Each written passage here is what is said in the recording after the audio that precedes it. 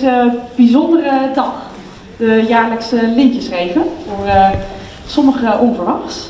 Blij dat u er allemaal bent. En dan geef ik nu eh, heel graag het woord aan eh, burgemeester Hans van.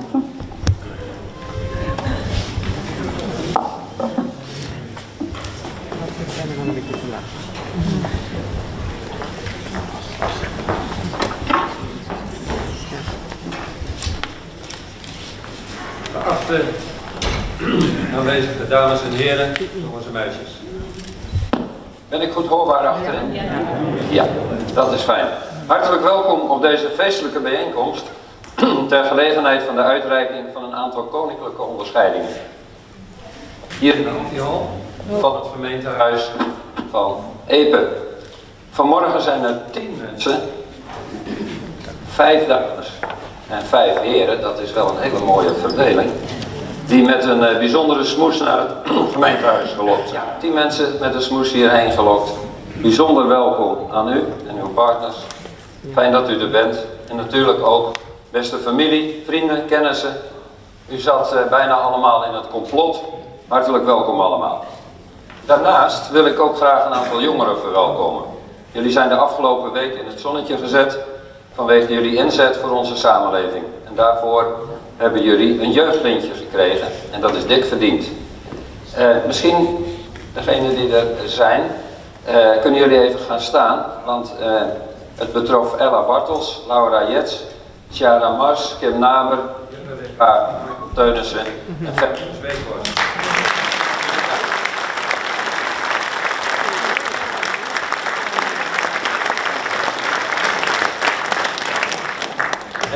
verdiend en uh, dankjewel voor jullie komst. Ik ben er trots op dat ik als burgemeester van deze mooie gemeente Epe de koninklijke onderscheidingen mag uitreiken. Ik zei al, het is een van de bijzondere en eervolle taken van een burgemeester, want namens onze koning Willem-Alexander mag ik straks de versierselen opspelden. En weet u hoe de koning tot die beslissing is gekomen om mensen te onderscheiden? Uw familie, vrienden, of bekenden hebben een aanvraag ingediend en een heel dossier opgestuurd om dat te onderbouwen. En dan wordt dat bij ons bekeken en bestudeerd en dan wordt dat met een advies, en dat is over het algemeen een positief advies, doorgestuurd naar de commissaris van de Koning. Die adviseert daar ook nog eens een keer over en stuurt dat door naar het kapittel voor de civiele orde en de minister. En die heeft er uiteindelijk voor gezorgd dat het bij de koning kwam. En onze koning heeft dan vervolgens een zogeheten koninklijk besluit genomen om de onderscheiding toe te kennen. Voordat ik met het officiële gedeelte begin, is het denk ik wel aardig om nog even de geschiedenis in te gaan. Want wat is dat nu eigenlijk, een koninklijke onderscheiding? Nou, ik zal het u vertellen. De geschiedenis van de onderscheidingen gaat meer dan 200 jaar terug. Koning Willem I stelde in 1815 de militaire Willemsorde in en de orde van de Nederlandse leeuw. Hij bedacht de onderscheidingen omdat hij militairen of burgers die iets bijzonders hadden gedaan wilde belonen. Later stelde koningin Emma een derde ridderorde in, de orde van Oranje Nassau. In 94, 1994 zijn er nieuwe regels opgesteld voor de verschillende onderscheidingen.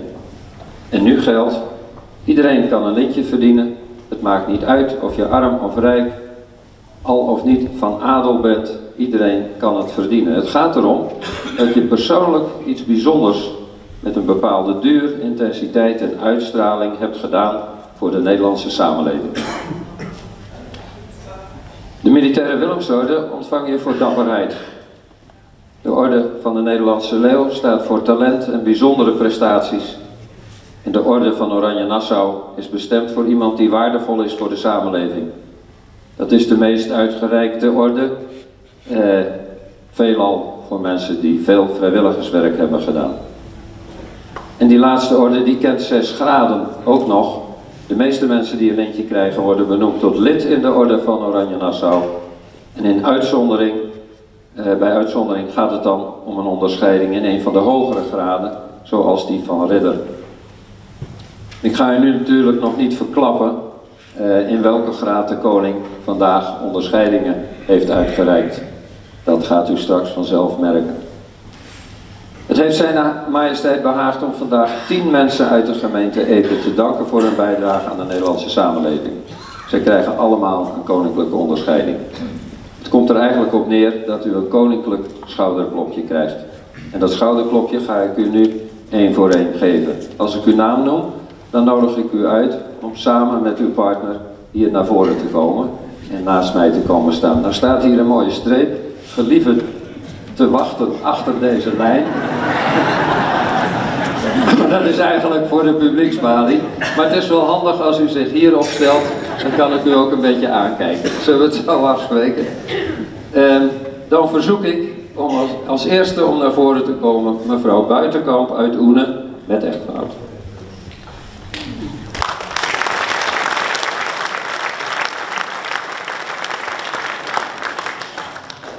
Goedemorgen, mevrouw Buitenkamp. U was hier al heel vroeg. En u kwam niet omdat u dacht van, ik moet hier voor mezelf zijn. Maar waarom kwam u hier? Ik kwam voor de heer Slotboom. Voor de heer Slotboom, die zit er ook. Maar ja. Dus u dacht eerst, dat dit klopt helemaal niet. Die burgemeester is helemaal in de war, maar dat was ik niet hoor. Het ging wel degelijk om u. Nou ja, een beetje van de schrik bekomen zullen we maar zeggen. Want deze dag gaat u vast niet in uw uh, Marjolein Bastin agenda staan. Uh, maar ik ben heel blij dat u hier naast me staat en ik zal u ook vertellen waarom dat zo is. U bent in 1986 toegetreden tot het bestuur van het Oenerkoefeest. Ruim 17 jaar heeft u de functie van secretaris vervuld. En destijds was de invulling van het koefeest nog wel wat anders dan tegenwoordig, kan ik me zo indenken. Ja, ik zie u knikken. Ruim 20 jaar heeft u het secretariaat van de dialectkring van de gemeente Epe voor uw rekening genomen. U deed veel werk voor het verenigingsorgaan en zorgde ervoor dat de maandelijkse bijeenkomsten invulling kregen. Ook heeft u vele jaren aan, aan boeken over dialectwoorden en uitdrukkingen in de spreektaal gewerkt. Dat heeft geleid tot een tweetal uitgaven, is mij verteld, die ervoor zorgen dat het Eper-dialect voor de komende decennia bewaard zijn. Ja, misschien kunnen we beter platpraat op Neder-Saxisch. Maar ik stel voor dat ik mij daar niet aan waag. Als u straks wil antwoorden, dan mag dat.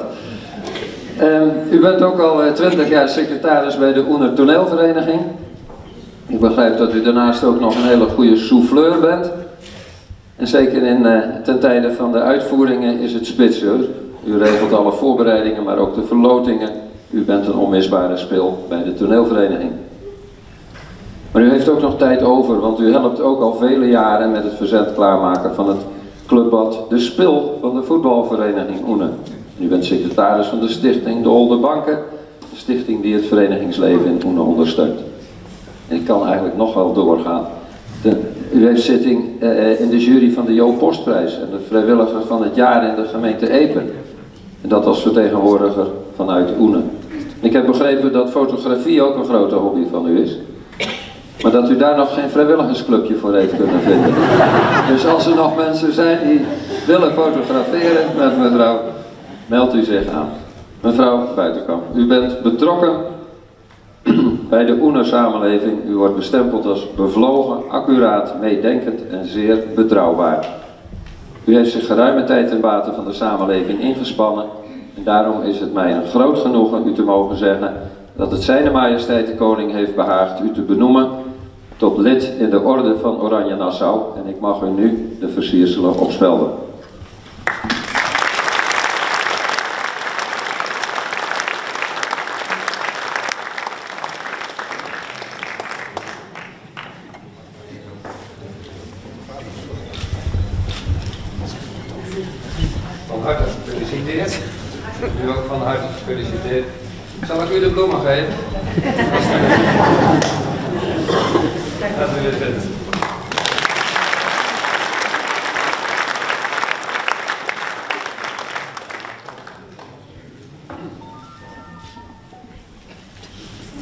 En dan uh, wil ik meneer Dijkman met echtgenoten vragen naar voren te komen.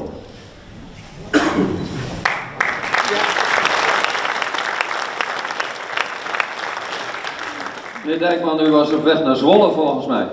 En toen? Toen moest mijn zoon opeens een uh, paspoort ophalen op het gemeentehuis. Waar zit die zoon?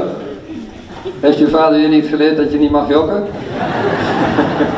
nou, voor deze keer was het niet zo erg, hè? Nee, komt u nog iets naar voren. Uh, ja, u was wel stipt op tijd, denk ik, hè? Want uh, dat schijnt een van uw kenmerken te zijn. Altijd op tijd. Naast dat u altijd alles keurig voorbereidt. Maar ja, vandaag moet u de regie maar even uit handen geven. Want uh, ja, er gaat van alles gebeuren. Laten we maar eens beginnen met de voetbalvereniging KCVO uit Vazen. U heeft mij al voor maanden toegesproken dat ik daar nog niet geweest ben. Ik beloof u dat ik de komende tijd een bezoek aan uw vereniging zal brengen. Die vereniging vormt een rode draad in uw leven. Al in de 70 en 80 jaren kon u zelf ook leuk een balletje trappen, is mij verteld. In de selectie eh, van KCVO. En u deed menig verdediger in de regio. Deed het voor u in de broek staat hier. Eh. Ik weet niet wat voor mooi talent u had. Maar uh, u had wel een mooie bijnaam, heb ik gehoord. De blonde pijl. Was u zo snel? Ik denk het. Uiteindelijk bent u van het gras naar de bestuurskamer gegaan. Want uh, u heeft twee keer een lange periode de functie van voorzitter vervuld. De grote veranderingen waren destijds de nieuwe toegangsweg en de aanleg van het kunstgras Hoofdveld met een nieuwe extra kleedkamer. U bent trouwens ook van de feesten en partijen, is mij verteld. Want u bent al 40 jaar voorzitter van het sportfestijn KCVO en van daaruit verantwoordelijk voor alle evenementen, toernooien en muziekavonden. Veel bekende muzikanten hebben hun weg naar Fase gevonden. Normaal, BZN, Teach In, maar ook uw grootste tieneridool, Corrie Konings. Van haar kreeg u zeker een heel apart gevoel van binnen. Tja, mooi was die tijd. Weet? Ja. Ik hield er ook wel een beetje van.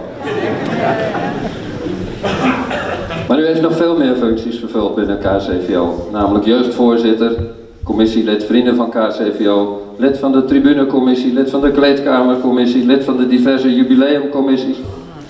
Is dat een excuus om vaak op het terrein te zijn? Veel commissies. En er moet veel nagepraat en getafeld worden zeker. Ja, ik dacht het wel. Um, in het verlengde hiervan bent u ook, en dat is uh, ook wel heel serieus, voorzitter van de voetbalfederatie gemeente Epen en fungeert u als aanspreekpunt tussen alle voetbalverenigingen en de gemeente Epen. U heeft een belangrijke rol vervuld ook bij de privatisering van de velden destijds. Um, dat alles is niet ongemerkt gebleven, want in 2015 bent u benoemd tot erelid van de voetbalvereniging KCVO. Lijkt mij helemaal verdiend. Maar er bestaat ook nog een leven buiten KCVO. Sinds 2000 bent u voorzitter van de Huzarencommissie. Deze commissie reikt jaarlijks tijdens de Fases-reunie een prijs uit voor de beste sporter of sportploeg van het jaar uit Fase. En sinds een aantal jaren helpt u ook als vrijwilliger bij Fases Museum. Om maar eens even wat dingen van het lijstje te noemen. Meneer Dijkman, zo vlak voor uw verjaardag staat u terecht in het zonnetje. Want voor u als... Waarom?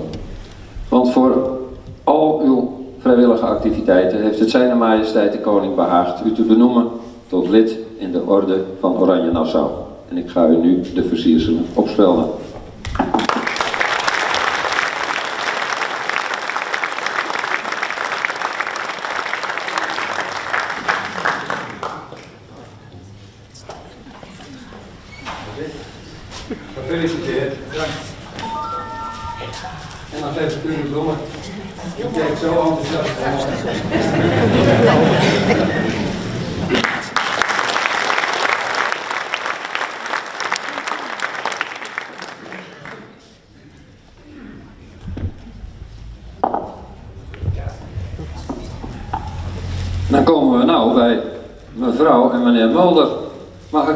om hier te komen staan.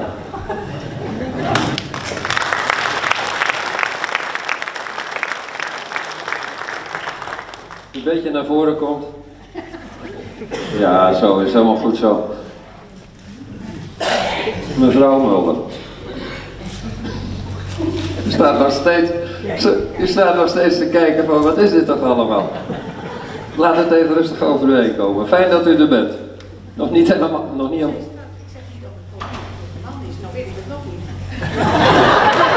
Zegt u nou? U zei straks, ik zeg niet of het voor u of voor uw man is. Nou weet ik het nog steeds niet. Ik heb dat ook wel eens, dat ik dit niet helemaal begrijp. Maar het- het- volgens mij komt het vanzelf goed. Komt vanzelf goed. Ja. Nog niet helemaal voorkomen van de schrik zie ik wel. Want dit is wel wat anders dan een klassiek concert ter ere van Beatrix 80 jaar, hè? Want daarvoor kwam u eigenlijk. Ja, daar komt u voor. Sinds de oprichting eh, in 1976 en nu ruim 40 jaar geleden zet u mevrouw zich in als vrijwilliger, vrijwilligster bij de boekenstand van de hervormde gemeente Oenen. Tegenwoordig online te vinden op boekenzending.nl. En dat doet u voor de verkoop van christelijke boeken, muziek en cadeaus. Een deel van de opbrengst van de verkoop gaat ieder jaar naar een ander missionair doel. Als leidinggevende stuurde u een heel team van vrijwilligers aan en was u onder andere verantwoordelijk voor de inkoopcontacten eh, met de leveranciers, de oudere dagen, zendingsmiddagen organiseren, aanwezig zijn bij het Oenerkoefeest en de Oeneroppaddagen. Vooral dat Oenerkoefeest was elk jaar weer een hele happening. Heel vroeg op, de snert, de dag ervoor al gekookt en met het luiden van de kerkklok om 8 uur was de stand klaar. U weet precies wat er op de boekenstand ligt. U bracht tenslotte ook zelf alle bestellingen achter op de fiets naar de boekenstand. Vorig jaar bent u iets meer op de achtergrond gaan werken. Klopt het nog? Dat Ja, gelukkig. Meer dan 20 jaar bent u op de zondag, maar ook bij de christelijke feestdagen en kerstvieringen in verpleeghuis Wendhorst in Heerden. U verzorgt de muzikale begeleiding op de piano, van zingen met de dominee. En de, huizen, de huisdiensten worden door u begeleid op het orgel. Zowel de bewoners als de verzorging bij Wendhorst waarderen uw inzet enorm. Binnen de hervormde gemeente Oene bent u ook al jaren organist. En dat tijdens de bejaardenmiddagen die eens per maand in het verenigingsgebouw gehouden worden. En dat klopt nou weer niet. Vertelt u eens. Ik ben geen organist bij de bejaarden. Geen organist. Nou, Jensel, ja, Jentel, daar kom ik zo op. Iemand in het publiek die heeft mij dus gefopt met deze mededeling. Maar goed, misschien dat u dat straks nog kunt uitleggen. Eh, want nou kom ik bij Jentel. Voor de christenvrouw Jentel in Oene was u naast uw lidmaatschap secretaresse en vaste, ja hier staat ook vaste organist voor de verenigingsavonden. En dat is wel goed, gelukkig. Daarnaast was u 15 jaar lang collecteorganisator voor het Prinses Beatrix Spierfonds en Kinderhoop. En viel de totale organisatie van de jaarlijkse collecte in Oene onder uw verantwoording. Ten slotte bent u bij de hulp- en bezoekdienst Tabita, ja, al 25 jaar vrijwilligster en bezoekt en helpt u hulpbehoevende ouderen en bezorgt u tevens het krantje van die hulpdienst. U wordt betiteld als een warme, zachte, hartelijke en belangstellende vrouw die begaan is met het wel en wee van de ander. Altijd bescheiden op de achtergrond en dat is zeer van toegevoegde waarde in de lokale samenleving. En nou denkt u, nou gaat hij zeggen dat het zijn majesteit. Nee, ga ik niet zeggen. Want ik wend mij nu ook graag tot meneer Mulder.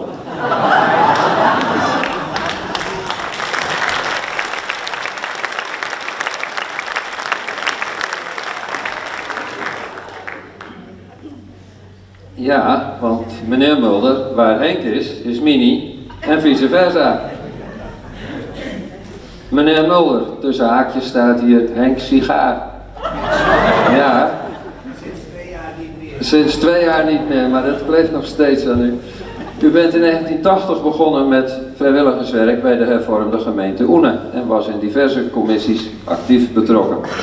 U was onder andere lid van het college eh, van notabelen en in die hoedanigheid verantwoordelijk voor de goederen van de hervormde gemeente Oene.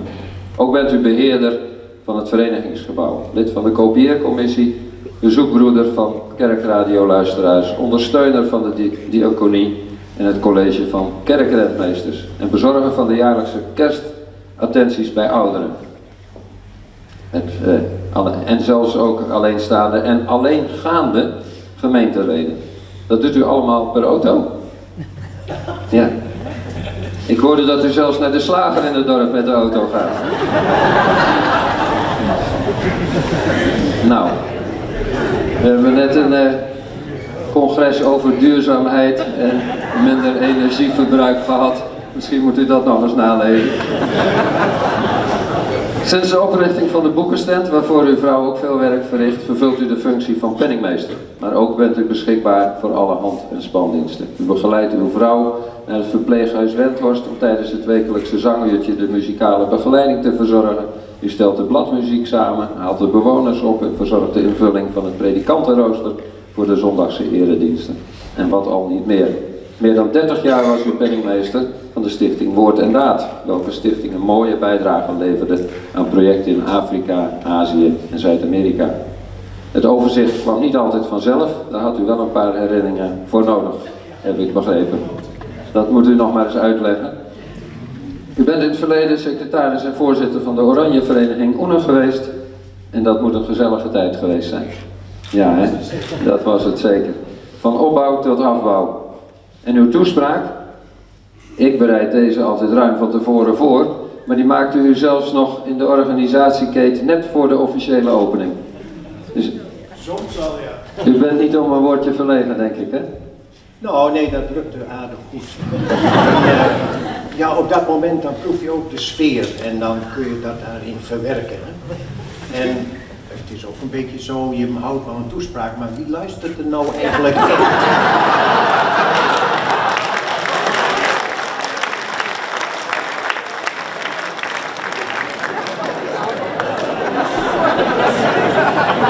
Zal ik, maar stoppen?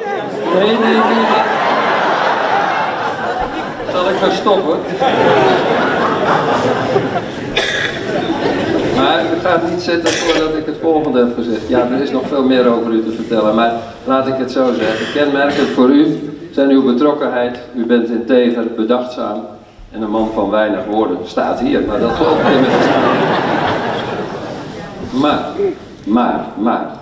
Ja, zonder gekheid. Uh, en dit vind ik wel heel bijzonder en heel mooi. Vandaag krijgt u beide de publieke erkenning voor uw werk. Want u wordt gekwalificeerd als personen die zich geruime tijd ten bate van de samenleving hebben ingespannen.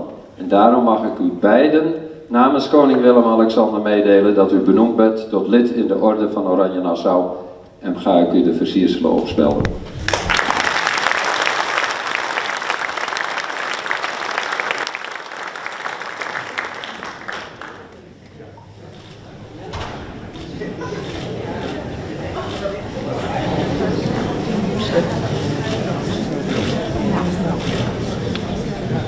de dag mee, denk ik. En eindelijk.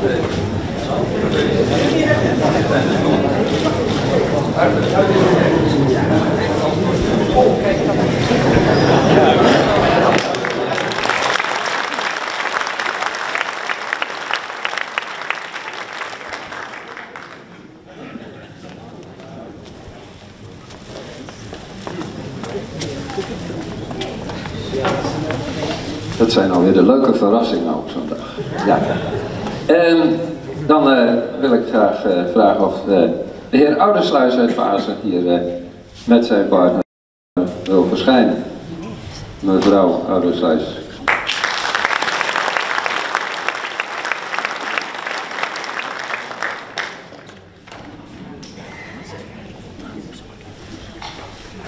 Beste Arie zeg ik maar, want wij kennen elkaar ook al wat langer. En beste Ria, wat fijn dat jullie hier zijn. Uh, ja, ook al had u andere plannen. Want uh, afspraak met... Wico aangesmeerd bij Triada. En dan zit je hier, Wico. Ja. Jongen, jongen, je krijgt hem nog wel. Goed. Ja, Triada. En, en toen toch even hierheen? Ja, het was niet zo gek die opmerking die die plaatste. We hadden een afspraak over de molenaarswoning. En toen zei joh, ik moet nog even een bouwtekening voor de gemeente opbouwen. Nou ja, doe je maar. Ik zeg, wacht maar even. Ze joh, loop even mee. ja, en dan sta je hier in één keer, hè. Nou, Eh, hopelijk toch aangenaam verrast. Eh, ik weet het, een no-nonsense man, niet van veel, eh, veel woorden, maar toch maar even luisteren nu. Eh, ja, meneer Oudersluis, de vereniging Vrienden van Daams Molen heeft het initiatief genomen om u voor te dragen voor een onderscheiding. Want u heeft zich de afgelopen jaren met hart en ziel ingezet voor deze vereniging. U besteedt veel tijd aan sponsorwerving, contacten met overkoepelende organisaties en het vergroten van het ledenaantal. En dat is goed gelukt. U kunt nu met een gerust hart de voorzittershamer overdragen, is mij meegedeeld. Ik weet niet of u dat van plan was. Ja, klopt. Vanaf het eind jaren 80 bent u betrokken geweest bij de Nederlandse Patiëntenvereniging afdeling EPE. Zeker 15 jaar heeft u de functie van voorzitter vervuld. Nee, 20 zelfs. Maar u bent ook 12 jaar lang voorzitter geweest van de ondernemersvereniging Fase. In die periode werd er veel inzet en tijd gevergd voor de herziening van het bestemmingsplan Centrum Fase. Ook heeft u veel tijd besteed om de ondernemers in Fase meer met elkaar te verbinden en niet altijd het individuele belang te laten prevaleren boven het algemeen belang van het dorp. In dezelfde periode maakte u als penningmeester deel uit van het comité dat zich beijverde om een oorlogsmonument in Fase te realiseren. Het comité heeft een ontwerp laten maken en daarvoor de benodigde fondsen geworven. Het resultaat is een in het dorpscentrum gelegen monument dat ook een plaats heeft in de jaarlijkse 4 mei herdenking. En velen van u kunnen zich de MKZ-crisis uit 2011 nog wel herinneren. 2001. 2001, ja. Dat heb ik zelf verkeerd opgeschreven. Ja, dat kan gebeuren. Inderdaad, 2001, in maart, dat weet ik dan nog weer wel.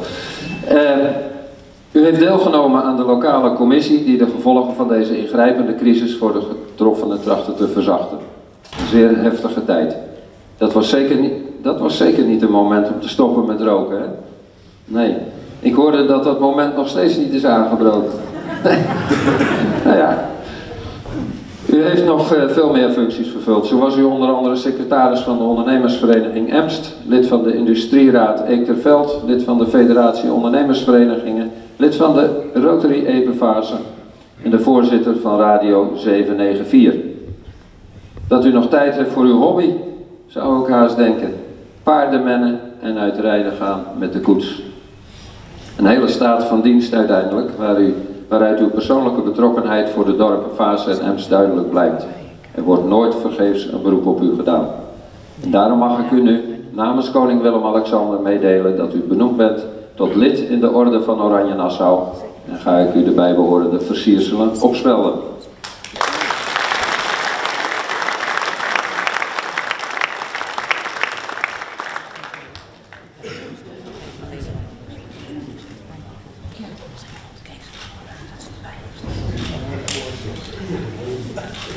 Van harte gefeliciteerd.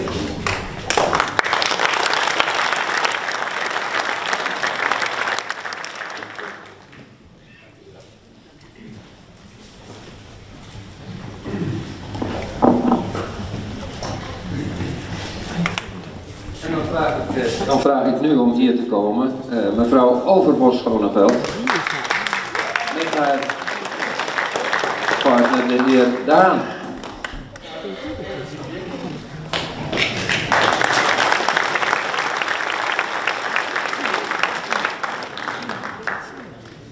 Als u nou aan die kant gaat staan en u komt even hier bij mij. Zo kan het ook, maar dan zit hè? Ja, ja, ja, doe dat maar zo. Mevrouw Overbos, ik kwam helemaal in de war hier. Wat was er nou toch gebeurd vanmorgen? Ik zou naar een lezing gaan in Zutphen. En toen reden ze naar Epe. Nou, daar waren we al. En meneer De Haan, u zat helemaal verkeerd. U zat hier in het publiek. We moesten u opzoeken. Hoe kwam dat nou? Ja,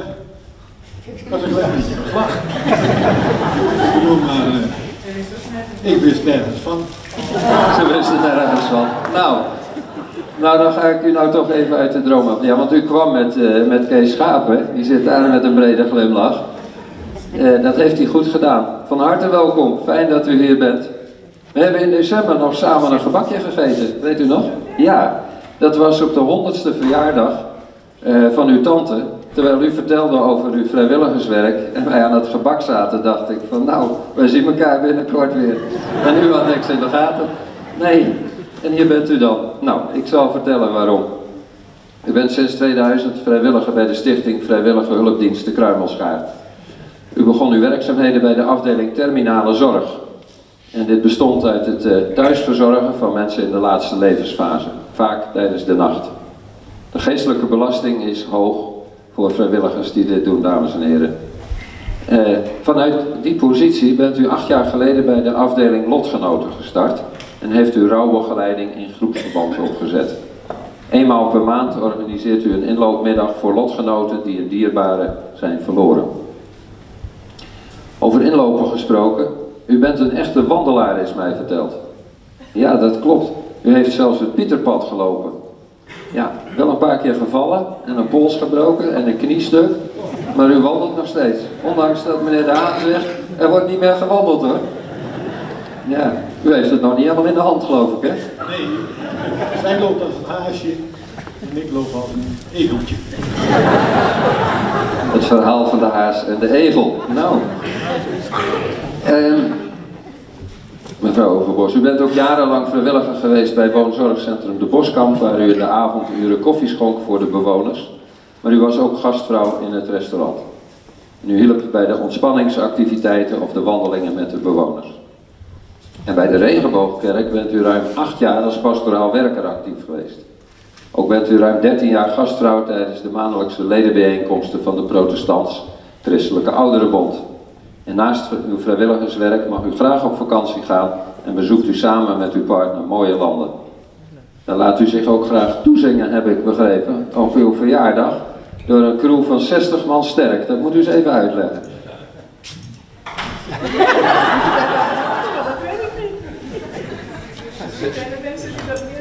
Er is vast iemand in het publiek die dat weet, want die heeft dat aangereikt. Nou, dan ga ik eens even vragen. Ik ben niet helemaal van wat met alles wat ik zeg. Nou, we waren samen op vakantie in Indonesië. En Rie werd ja. En Rie had ondertussen al heel veel kennissen daar gekregen. Dus ze werd ja en s'morgens werd ze verrast met het hotelpersoneel. Alle jonge mannen. en de gasten waren weer waren. Dus ik denk wel dat dat is. Nou, is het weer boven gekomen? Het klopt, gelukkig. U had toch een fijne vakantie. Dat is helemaal mooi. Nou, beste mevrouw Overbos, u verricht uw werk met veel inzet en liefde en geeft blijk van het optimaal omzien naar elkaar. Het is met groot genoegen dat ik de versiersel aan u mag uitreiken die behoren bij de door zijn majesteit de koning verleende onderscheiding tot lid in de orde van Oranje Nassau.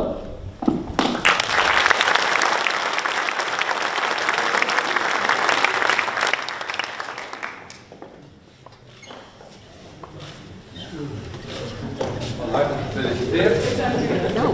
Van harte gefeliciteerd. En ja, die zal ik nog geven.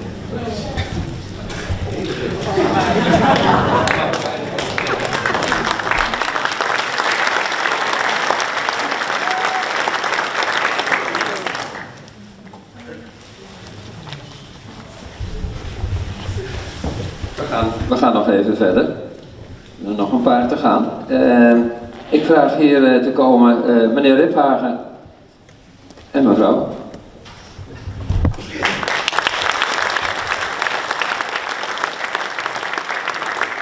Meneer Riphagen, u kwam voor een ander, heb ik begrepen. En ik begreep ook dat u gisteravond nog heel ergens anders was. Ja, dat klopt. Ik, ik kwam voor mevrouw Mulder.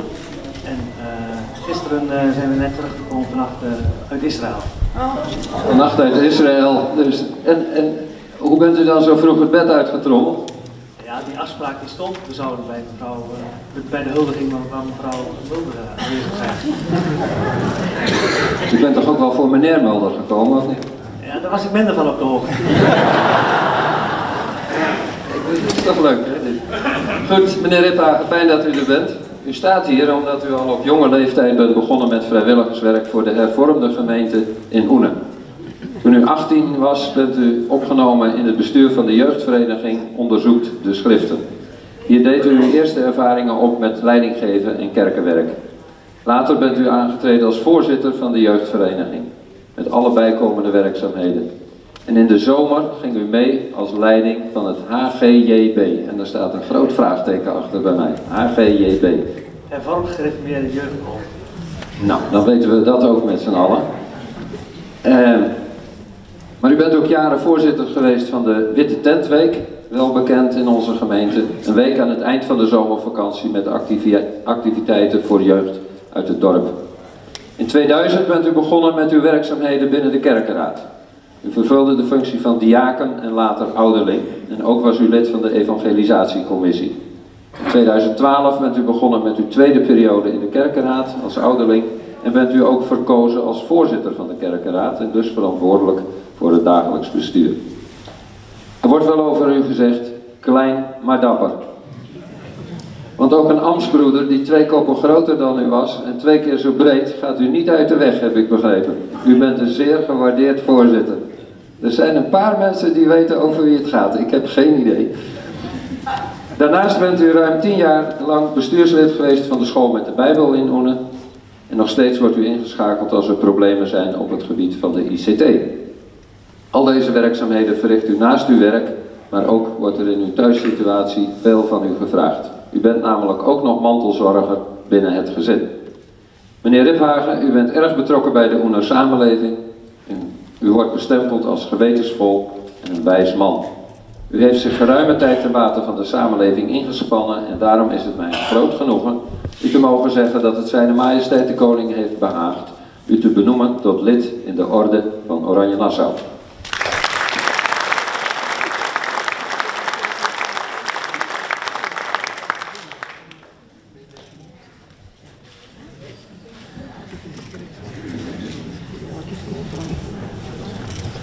Van harte gefeliciteerd.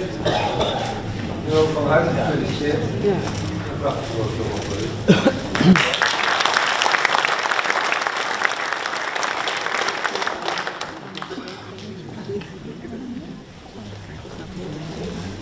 Van jou?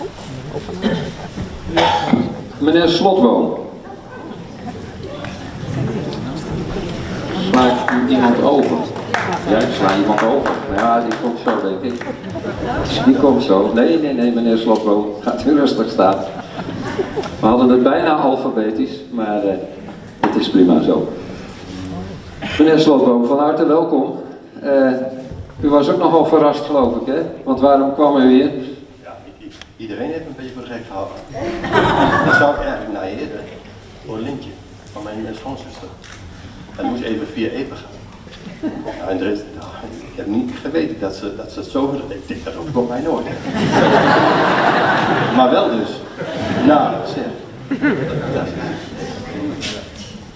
Hij vindt het toch wel heel erg leuk. Dat is mooi. En ja, nou ja, u bent dus niet voor niets hier. Eh, nou maar hopen dat het in Heerde ook goed komt. Ja. Eh, u bent in de jaren 80 begonnen als eh, onderbrandmeester van de vrijwillige brandweer. In, dat, in de post Oene. En ik kan me zo voorstellen dat er in die tijd, dat het toen wel wat anders toen ging eh, dan nu. Ja, u heeft dit 17 jaar lang op voortreffelijke wijze gedaan. Leuke feestjes waren er toen ook al. En u kunt zich vast nog wel een diner in een Turks restaurant herinneren. Toen u 12,5 jaar brandweerman was. Dan moet u toch even uitleggen wat daar gebeurde. Ehm, ik, ik weet het maar niet meer zo. Het was wel leuk, dat weet ik wel.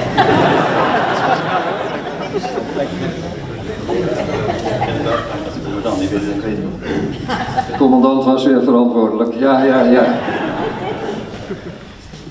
In 2002 bent u toegetreden tot de kerkenraad van de hervormde kerk in Welsen.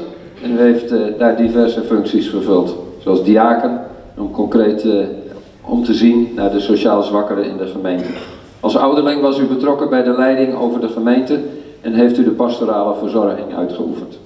Tijdens uw jaren als ouderling kerkrentmeester was u verantwoordelijk voor de instandhouding van de kerkelijke gebouwen. En in de uitoefening van uw werkzaamheden heeft u altijd volharding getoond, gepaard gaande met toewijding en zorgvuldigheid, is mij verteld. En daarnaast heeft u voor de Stichting Welzijn Ouderen ruim acht jaar lang maaltijden bezorgd bij nog zelfstandig wonende senioren. Ook bent u acht jaar lang bestuurslid geweest van de korenmolen Werklust. Die staat aan de Houtweg, hè? Ja, in Oene. En heeft u een belangrijke rol gespeeld in het genereren van inkomsten. En uw jarenlange ervaring als warme bakker kwam hier heel goed van pas, is mij verteld. Nou, in die tijd zong u morgens om vier uur al het hoogste lied, heb ik wel begrepen. Vandaar dat u later, denk ik, bent toegetreden tot het koor. Klopt dat? Ja, dat klopt.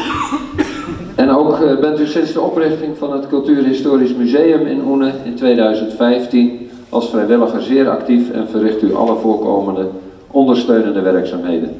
Meneer Slotboom, u heeft bijna 40 jaar lang vrijwillige activiteiten verricht ter bate van de samenleving. En daarom mag ik u namens koning Willem-Alexander meedelen dat u benoemd bent tot lid in de orde van Oranje Nassau.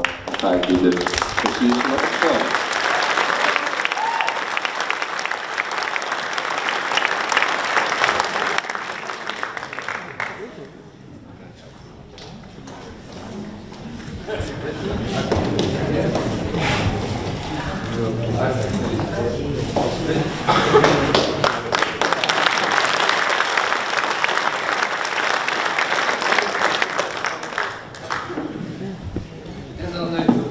En dan nu, mevrouw erna eh, met echtgenoot. Wat dacht je, ze slaan me over?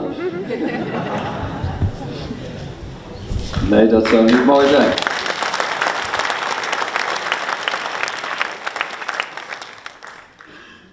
Ja, u heeft wel heel bijzonder veel moeite gedaan om het allemaal eh, verborgen te houden. Want u gaat door de week altijd ergens anders, één nachtje voor het werk ergens anders slapen. En u dacht, ja, vanmorgen moet ik hier zijn. Maar wat heeft u vannacht gedaan? Ik heb eh, bij een vriendin eh, geslapen. maar die vriendin heeft bij haar man geslapen, maar ik heb heel dicht bij mijn vrouw geslapen zonder dat ze dat wist. Maar u had het toch in de gaten vanmorgen. Hoe kan dat nou weer?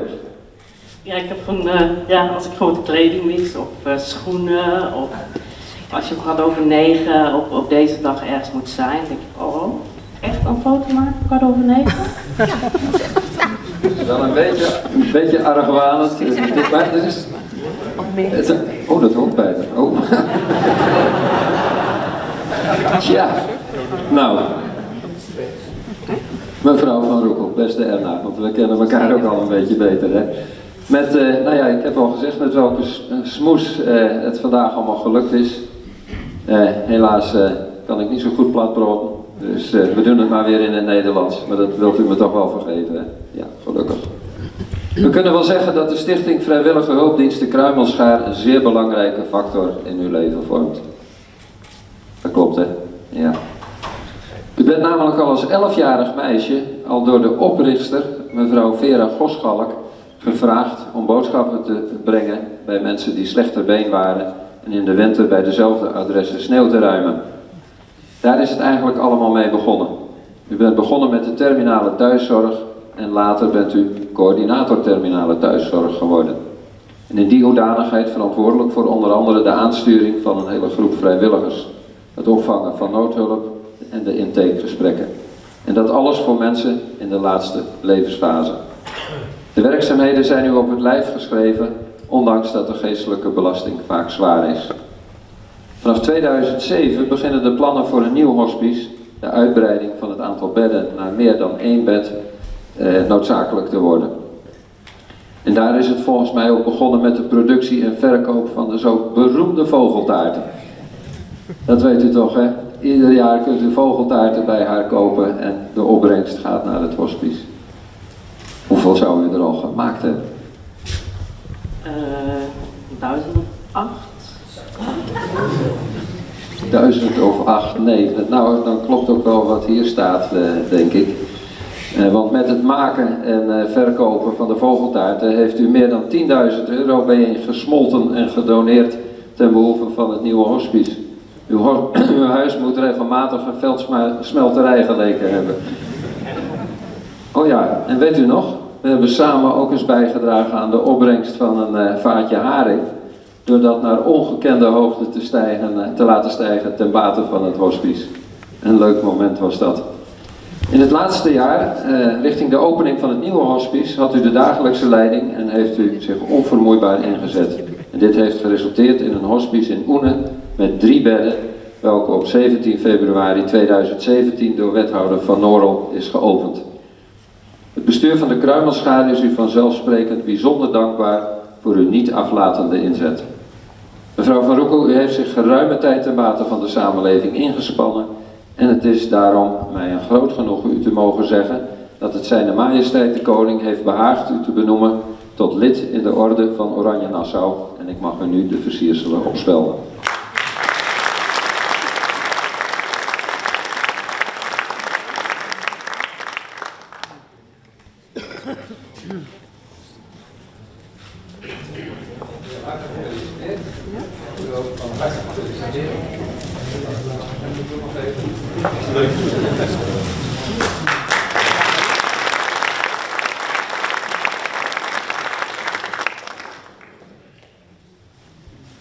Ja, en dan nu, last but not least. Dan denk je van begin ik met de A of begin ik met de Z? We zijn bij de Z beland. Marie-José Andringa Zalman.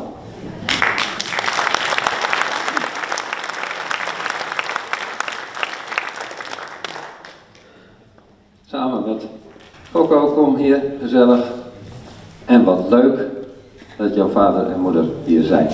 Kijk eens, daar zitten ze in de 90. Ze zijn er nog bij.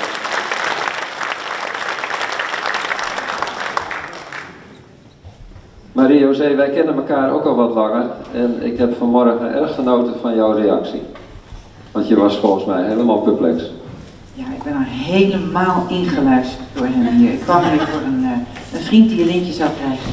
En ik wist echt niks. En ik heb een heleboel mensen de afgelopen tijd gezien die in de zaal zitten. En ik moest vandaag een heleboel afspraken afzeggen voor Alzheimer, want we moesten echt bij die vriend zijn. En nou sta je hier. Ja, ja, en dat dan ook nog een beetje als con control freak, hè? Ja, dus eh, laat het vandaag maar gewoon gebeuren. En ik ga nu over tot het officiële deel, dus we spreken weer in u. Tijdens uw studie geneeskunde, specialist ouderengeneeskunde in de tachtiger jaren, heeft u al vrijwillige activiteiten ontplooid. Destijds gaf u veel lezingen en toespraken om aandacht te vragen voor kwetsbare ouderen. Allemaal liefdewerk, oud papier. U was naast uw studie al vaak op pad om de knepjes van het vak over te brengen op cursisten en studenten en uw visie uit te dragen in de huisartsenwereld. In de jaren 90 was u werkzaam als hoofdmedische dienst van verpleeghuis Casa Bonita in Apeldoorn en stond u aan de basis van de oprichting van het Geriatrisch Onderzoek en Adviescentrum, waarmee het multidisciplinaire onderzoek bij oudere patiënten werd gerealiseerd door samenwerking tussen de GGZ, verpleeghuis en ziekenhuis. En dit centrum is vervolgens doorontwikkeld tot de huidige polykliniek geriatrie in het Gelder ziekenhuis in Apeldoorn. En sinds 1994 bent u lid en ook een periode bestuurslid van Firenzo, de Vereniging van Specialisten Ouderengeneeskunde. En vanaf 1998 bent u lid van de serviceclub Soroptimisten Hattem Epen. En ook was u zeven jaar lang lid van de Raad van Bestuur van Zorgcentrum De Klaarbeek in Epen. Uw kennis en ervaring op het gebied van ouderengeneeskunde en ouderenzorg was onontbeerlijk in een periode dat de zorg voor ouderen in verzorgingshuizen enorme veranderingen te wachten stond. U bent tot 2012 werkzaam geweest als specialist ouderengeneeskunde en tevens hoofd van de medische dienst bij de stichting Zorgcentra Rivierenland in Tiel. En ook in deze regio heeft u zich ingezet voor het opzetten van de ketenzorg ten aanzien van dementie. U bent nog steeds actief als voorzitter van de commissie Ongewenste Omgangsvormen bij dezelfde stichting. En sinds 2012 bent u bestuurslid van Alzheimer Nederland, afdeling Oost-Veluwe. En in deze functie wijdt u zich volledig aan de verbetering van de zorg voor mensen met dementie en de ondersteuning van mantelzorgers. U bent gespreksleider tijdens de maandelijkse themabijeenkomsten in het Alzheimer Café. En u heeft een team van medevoorlichters getraind om voorlichtingen en lezingen voor verschillende doelgroepen te geven in de regio. Ook heeft u zich enorm ingezet om het geheugensteunpunt in Epe en Brummen van de grond te tillen. Ik kan me nog herinneren dat wethouder van Norel, van u, en ik heb ze zelf later ook gekregen, een paar Alzheimer sokken heeft aangetrokken. Dick, heb je ze aan? Vandaag niet. Vergeten zeker. Ja. Ja. We moeten er maar een grapje van maken soms. Hè. In 2016 was u de, de, grote motor achter het evenement Het Fitte Brein in Orpheus. Uh, in Apeldoorn. Een evenement ter gelegenheid van Wereld Alzheimerdag in het 25e jubileumjaar van de Stichting Alzheimer Nederland. Een fantastische bijeenkomst met prachtige sprekers. Art Schenk, uh, dokter, uh, professor Schwab. En er was nog zo'n hele bekende hoogleraar bij. Yes, Erik Scherder. U heeft hem vast wel eens zien optreden op televisie. Het was bijzonder interessant. Gesteld mag worden dat uw inzet en kennis op het gebied van ouderengeneeskunde en ouderenzorg een heel belangrijke rol heeft gespeeld bij de ontwikkeling van het onderzoek naar dementie. Allemaal serieuze onderwerpen, maar toch bent u altijd in voor een lach. Mevrouw Andringa, gezien uw lange staat van dienst, met als zwaartepunten activiteiten voor de verbetering van de zorg voor mensen met dementie en de ondersteuning van dienstmantelzorgers, en dat alles buiten uw hoofdfunctie. En vanwege de landelijke uitstraling van uw activiteiten is het mij een grote eer om u namens zijn majesteit de koning te mogen benoemen tot ridder in de orde van Oranje Nassau.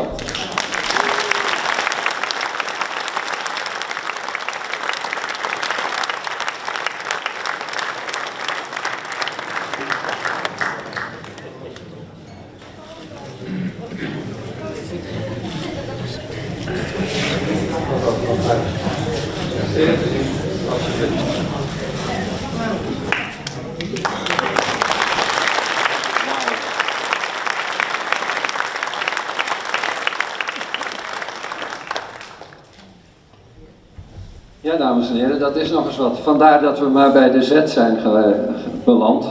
De ridder als laatste. Familie ook gefeliciteerd, want het is toch heel bijzonder. Geldt voor iedereen natuurlijk, maar dit is wel weer extra. Dames en heren, wij zijn zo langzamerhand aan de afronding van het officiële deel gekomen. Uh, feestelijke uitreiking. Ik wil alle gedecoreerden nogmaals feliciteren met hun koninklijke onderscheiding en hartelijk danken voor hun inzet voor onze samenleving en onze gemeente. En ook familieleden en vrienden wil ik bedanken dat zij dit hebben mogelijk gemaakt. Want als u de aanvraag niet had gedaan en alle ondersteuning had geregeld, dan hadden we dit vandaag niet kunnen doen. Dank u wel daarvoor. Dames en heren, het mag duidelijk zijn dat een koninklijke onderscheiding niet zomaar uitgereikt wordt. Daar gaat een uitgebreid proces aan vooraf. En dat heb ik zo straks ook uitgelegd. En het is, dit doe ik eigenlijk nooit. Maar toch wil ik daar een opmerking over maken. En ik ga even hier staan, want het vele werk dat altijd daarvoor gebeurt, dat wordt door mijn kabinetmedewerkster mevrouw Marielle Berghoff gedaan. Kom even hier Marielle. Ik weet dat u dit verschrikkelijk vindt. Ze wou al weglopen. Maar eh, dank u voor dat applaus, want eh, we moeten ons realiseren dat er heel veel werk aan zit. En het ook niet altijd makkelijk is. Want uh, u heeft soms ook wensen. Kan ik met 50 man hier komen? Kunnen we het feestje op het gemeentehuis houden? Uh, nou, je kunt nog wel een aantal anekdotes vertellen, denk ik. Nou, nogmaals, je krijgt straks een bloemetje van me, maar hartelijk dank.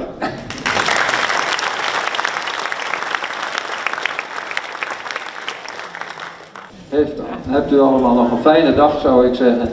En uh, dan sluit ik hiermee het officiële. Meneer Oudersluis, vanochtend enigszins verrast. Enigszins. Hoe ging dat in zijn werk? Enigszins wel. Ik had een paar weken geleden al een afspraak gemaakt. Ik ben voorzitter van de Vrienden van Dames Molen met Wieke Ankersmit, die is voorzitter van de stichting. Hij zei, we zijn toch uitgenodigd door Triada.